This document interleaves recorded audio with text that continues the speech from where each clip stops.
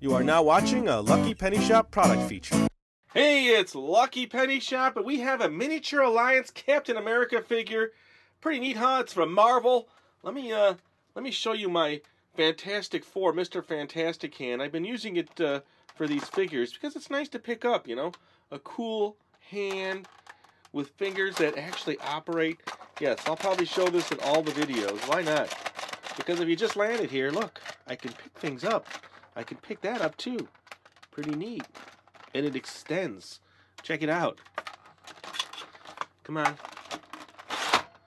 There it is. So now I have a long 20 inch arm. That's it. Sorry.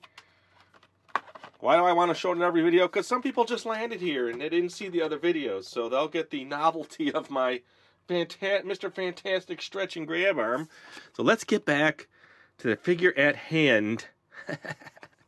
Captain America. And here is the set. It says collect them all. So let's get them out. Do you like that? Figure at hand. Did you get it? Hmm?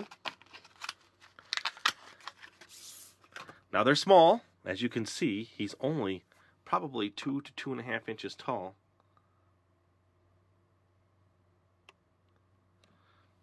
So we'll just set it there and you can kind of look at that and then we'll show you all the different sides.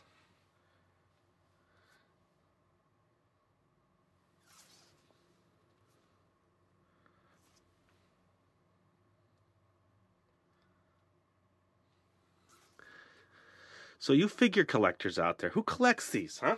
What is your favorite collection or what do you collect the most? Leave it in the comments below. How do you like this one, by the way? Do you like the miniatures? Do you like the larger ones? What do you collect? Want to hear it out there. We want to know. So there you go. That's the Miniature Alliance Captain America figure. And thanks for watching. Later. This video is now over. If you want to see more videos in this series, check the description, search the channel, or click here. And always remember, if you see a lucky penny, pick it up.